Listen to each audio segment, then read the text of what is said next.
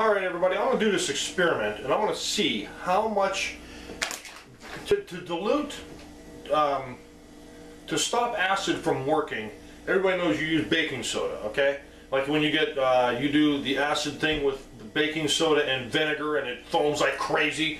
Well, I'm going to do the same thing with sulfuric acid and hydrochloric acid. How much baking soda is it going to take to dilute a quarter cup of each one? And we'll compare it with vinegar. So, let's get going. Alright, I didn't have regular white vinegar, so I'm to use apple cider vinegar. We're to try this out. Quarter cup.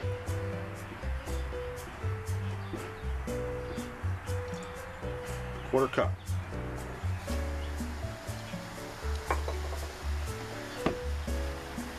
Let's mix it around a little bit. Safe enough to use for my fingers. Alright, quarter cup to quarter cup.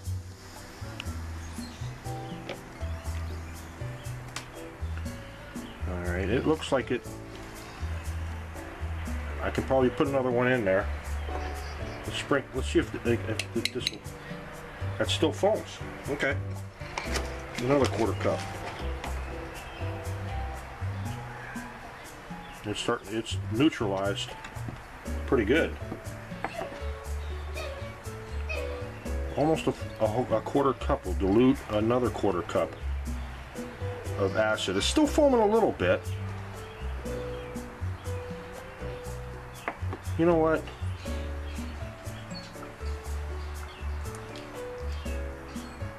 I'll say a third cup will dilute what the apple cider vinegar. There you go. Let's clean it up and do another one. All right, a quarter cup of sulfuric acid. This. There you go, nice and thick. All right. That's really going. Uh-oh.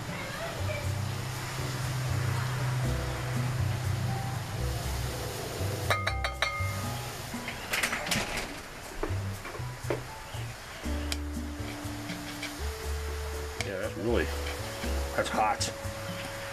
I hope it doesn't break my bowl.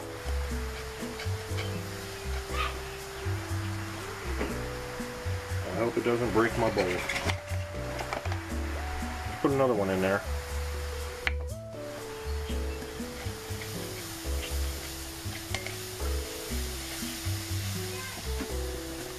Yeah, that's a little hot.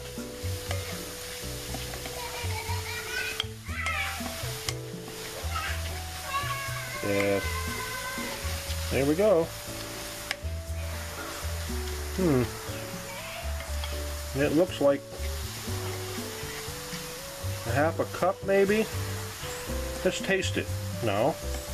Yeah, the bowl gets very hot from uh Okay, now it's warmed off. It, it cooled off really good. Yeah, I'll say half a cup. You got some some bubbling over here still. All right, that's cool.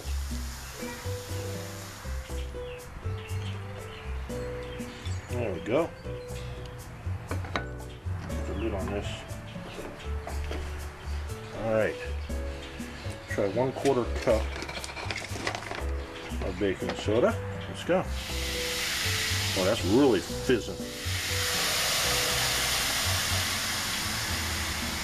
Uh, it'll take a little bit, folks.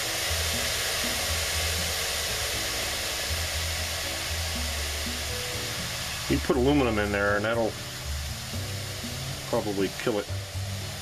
It'll eat that aluminum a lot quicker than sulfuric acid. Certain acids will, will eat certain things. Mix it up. Yeah, see that ate it up. The sulfuric acid, uh, it was probably still caustic, even though it was real thick. careful where I put this. Let's try another cup in there. Half a cup. A quarter cup. Ah, it looks like it's taking care of it already. Look at that. Look at that. Okay. I thought it was going to take a heck of a lot more. So half a cup for the, I would say uh, probably three quarters of a cup for the sulfuric and then a half a cup for this. This is just totally gone. Let me, let me sprinkle a little bit in there. We don't get anything, so that's totally dissolved. So there you have it, folks. Uh, the vinegar was the least um, acidic, and it took about a, a, you know a half a cup to totally dilute that. That wasn't that bad. The sulfuric acid took about three quarters of a cup, but I still think it was still caustic. Like it would still hurt you, burn you if you got on your got on your arms because it was real thick. Where the hydrochloric acid, it took about a third of a cup to totally dilute that, and the difference between hydrochloric and sulfuric, hydrochloric will, will dissolve metals faster than, than sulfuric. Sulfuric will, will more, what, organic material like your skin. And I did a, an experiment on that. I had a drop of, of both acids put on my arms and it, it, it uh, the experience, it turned out what I thought it was going to turn out. So there you go. And I wonder if you could use baking soda when you're eating spicy foods, because isn't spice like uh, like acid, the heat, the hot, like rinse your mouth out with baking soda? I don't know.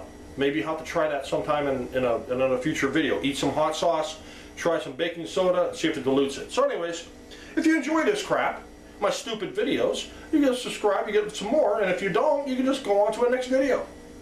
And thanks for watching. I'm going to have a beer.